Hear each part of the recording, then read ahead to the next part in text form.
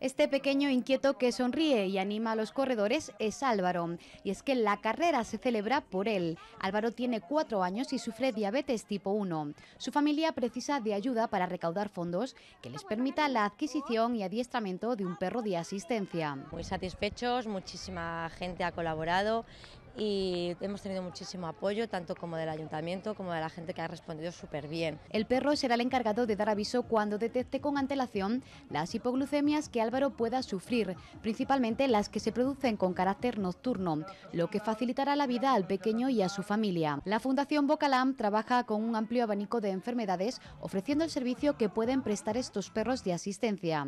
En el caso de la diabetes, conocemos en qué consiste el adiestramiento del CAM. Trabajamos en base a muestras biológicas de estudio aliento y saliva, que pedimos a los padres en este caso que nos vayan recogiendo durante más o menos seis meses que dura el entrenamiento del perro y entrenamos el, perro en base a estas muestras.